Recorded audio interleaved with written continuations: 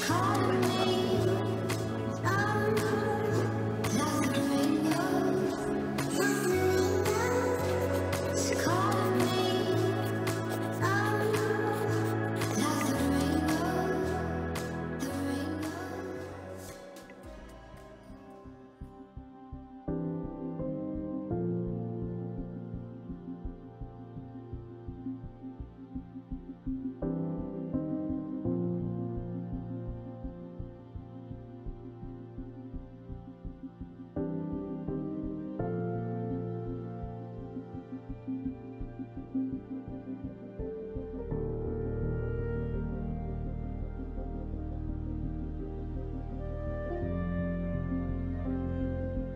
Look, Josh actually came outside today for once. Isn't that amazing? Josh never goes outside. It's really weird when you talk about yourself in third person.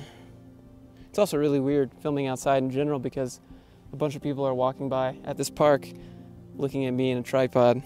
All right, welcome to the first flight log. I'm gonna post these maybe once a week on Saturdays, which is today. I'm gonna try to keep them educational, but I wanna make them fun too. I end up asking my instructors like a lot of dumb questions that I think people might be curious about, but just don't have anyone to ask. And so I'm here to ask those questions for you. If you got any dumb or entertaining questions you wanna know about airplanes and stuff, let me know. Let's start off with what was the scariest thing about learning how to fly? Um, it was taxiing around the airport, just just driving the airplane around the airport before you're about to take off. That was the scariest part. I thought it was going to be practice stalling the airplane. I thought it was going to be turning the plane too sharp or doing something like that. But the plane basically flies itself. You just make sure that it stays level and goes where you need it to go. It's pretty safe. You know, you have a higher chance of getting into a wreck or something happening when you when you drive a car. I think maybe the only thing that people really get scared about is like they have a fear of heights, so when you look out the window, you feel like your stomach drop, but I've never really experienced that. The first thing that you learn is how to walk around the airplane and check to make sure everything is good, all the avionics work, all the electronics work.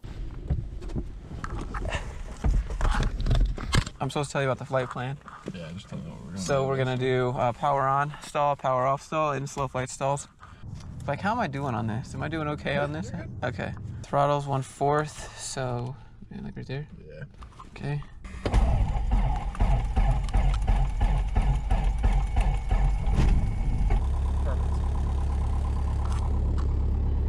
I'm still waiting on to learn how to use the radio because right now, every time I want to do something, he has to do the radio. So I learned how to take off and land yesterday when you're when you're driving the airplane, when you're riding the airplane around the airport getting ready to take off.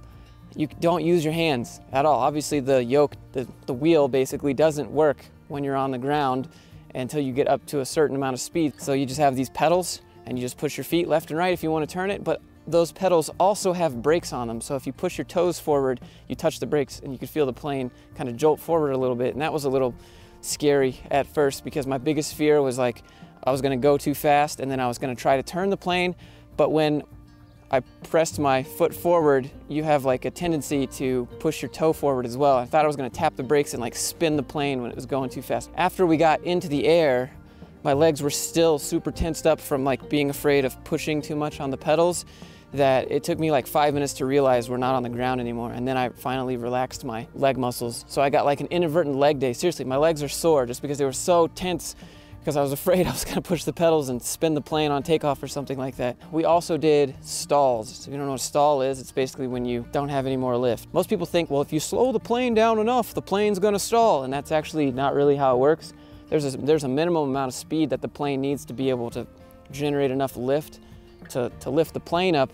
But generally, the way that stalls work is if your angle of attack is too high. If you take the plane and you pitch it up way too much, then you're gonna disrupt the airflow over the wing and it's gonna create these little rotors and you're not gonna have lift anymore. And so the plane wants to lean back forward and go down. And you really have to try to stall the plane because you get a lot of warnings when it comes to stalling the plane. There's a stall horn that some planes have, our plane did. Before you're about to stall, it goes off in the cockpit. It's super loud. It's like Jim Carrey making an annoying noise in like Ace Ventura or something like that. That's what it sounds like in the cockpit. also, some planes will start shaking the stick in your hand to like, hey, let go. Tilt the, tilt the nose down, give it some, give it some airflow over the wings. And then also the, the entire plane starts to like shake a little bit. Like there's a lot of warnings. You really have to try to stall an airplane. There are a couple cases where you could do it accidentally just because you're going already at like the minimum flight speed needed. So if you're like coming into land and you turn and then you hit the rudder while you're turning at a super low speed already, you don't have a lot of room to play with because you're just gonna hit that minimum stall speed just for the plane to be in the air. If you're just flying the airplane and, and it starts to stall, just push it back down, no problem. What most people do instinctually is they're like, oh, we're going down, let me pull up. And so they stall the plane again and they still hold it and then it, it, doesn't have any lift. So then you go into a nosedive. And, and I guess a lot of people get really scared with the stall feeling. Kind of feels like zero G for a moment. Where you go up and then you come back down. So here are some questions that you probably are asking or I guess maybe curious about. Where am I doing it? The, the outfit that I'm doing it with is called Randon. Randon. It's like random, like random number generator, but instead of an M on the end of the word, it's an N, like Randon. It's in um, West Jordan, Utah, basically. So it's way over there. You could see it from here, but you can't, but I can. It's a lot of gas in my Jeep, to be honest. it's, a, it's like a 25 minute drive and every time I drive there, it's like a quarter of a tank, but it's, it's worth it. It'll be worth it. My instructor is Nick. He wants to do the commercial route. Normally, you get a private pilot's license, then you become an instructor, and then you go the commercial route. But to do commercial and fly jets and regional planes like that, you have to have 1,500 hours to get into it. And so you don't end up with 1,500 hours after you get your pilot's license. That's not how it works at all. Uh, what exactly am I flying? I'm flying a Piper Archer from the 1970s. Some of the interiors are a little bit, you know, rugged, but student use, you know, it's being used all day. And then some of them are actually pretty nice. I could see myself flying around in a Piper Archer. It seats four. It's a pretty decent little plane. Um, it's low wing. If I had a choice on what kind of aircraft I would get, it would probably be a Kitfox like Trent Palmer flies because of bush flying is the dream. Just land up here on a mountaintop somewhere, go camp, wake up the next morning, pack it all away, and then just fly off the mountain and go back home. So that's like the dream. Uh, if you're curious, the Piper Archer holds 50 gallons of fuel, 25 gallons on each wing. Gas costs $5.15 per gallon. A lot of people want to know how far you can go in that little plane, and it's not really distance, um, it's more about air time. So you can get about five and a half hours in the Piper Archer that we're flying in. However far you can get on five and a half hours is really up to you, the route you take, and the weather that may or may not be in your way. So it's not like you can't always measure distance like that. How much does it cost for me to do it? Yeah, so it's a little bit on the expensive side. I'm just gonna be straightforward here. It's $180 an hour for the plane and it's $65 an hour for the instructor. It's probably gonna cost me around $15,000 I was expecting somewhere around $10,000 after doing the research. You know, whatever it costs is whatever it costs. It's, it's part of the dream. And I have to constantly tell myself, Josh, it's not about return on investment. It's about doing something that you want to do every day. You're doing your best trying to make this part of your business and hopefully people will come. Hopefully people will be interested. Hopefully I can get some sponsors like, like Bose. They have headsets that you can get. I should reach out to Bose or ForeFlight. Uh, Garmin for the GPS systems, I should reach out, but I don't know if they'd be willing to do it. I've never seen someone start and finish pilot school so that they could take solo adventures. I've only seen people already flying and recording it after they learn. I haven't seen the whole process. I kind of wish that I did this with like my co boot camp where I started before and where I ended up after. But yeah, it's gonna, it's gonna cost a lot of money. All right, so here's some fun facts about airplanes that I thought that you might wanna know. I was like, so can we fly this airplane to like Salt Lake International Airport or wherever? Could we go to like Atlanta International Air Airport, like the busiest airport in the world? He was like, yeah, you could go to basically any airport you want. You just ask on the radio if they'll let you in and get clearance and they'll let you in. And if you do that and you have your own stuff, no TSA. I, I imagine you'd have to go through customs if you went international, but generally TSA is for like Delta and all the airlines. But if you do it yourself, you don't have to deal with any of that. You just go to the general aviation area of the airport. And I guess you don't even see it. I've never even seen the general aviation side of the, any of the international airports. All you see is the big Delta jets coming in all the time. Or I guess another like fun fact and misconception that I had was that I thought it was really expensive to store airplanes. I, I thought it was super expensive to get a hangar. I thought it was going to cost like $600 a month. The hangars at the airport where I'm learning how to fly is $75 a month. And they're huge, the whole solo hangar just for you, 75 bucks a month. If you go get personal storage at some Joe Blow storage place, you get like a 10 by 10 room and it's $300 a month, you know? Oh, all right, so uh, you guys hear that airplane that just went by. Here's another misconception about that. It's not actually that loud. It sounds a lot louder out here standing on the ground.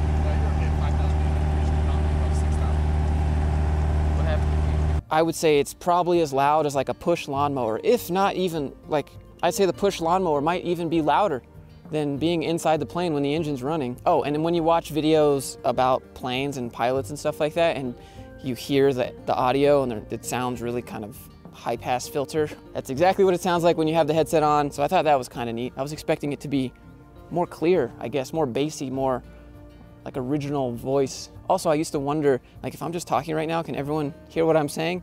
Nope. Um, so, you know, on the joysticks, there's like the little red button. You, you, like everyone's like, oh, the red button is to like shoot missiles, right? Obviously. No, actually the red button, you just, you press it down to talk on the radio. That's it. Oh, here's another thing. I'm sure you've been flying in um, and you've looked at the runway right before you, you know, touch down and you see all the lights on the runway. Well, there's four lights on the left side of most runways and those lights are telling you if you're too high or you're too low when you're coming into land. So if they're all white, you're way too high. If they're all red, you're way too low. If you have two red and two white, that's you know pretty good. That's right where you want to be. I thought that was a pretty cool fun fact. I was like, what are all these lights? How did like what are they for? Um, and then I guess the final thing that I want to talk about is I've convinced my instructor Nick to let my dad come along once a week so he can film and get really good shots. And uh, I'm really hoping I can make this like a high quality documentary series where I recap everything that I've learned and fun things that I might share with an audience that either A, doesn't know a lot about aviation but is kind of curious, or B, doesn't really care but the fun facts are enough to be like, huh, learned something new today. So you can walk away with something. I don't understand how it sounds so loud because it's so quiet. Um, but anyways, I hope you enjoyed this video. Hope you got something out of it. I'm certainly really enjoying this. I need to figure out a way to, I guess, better monetize it because it kind of costs a lot. But um, anyways, if you enjoyed the video, hit subscribe, hit like, leave a comment, let me know what you think, and I'll see you next week in the flight log.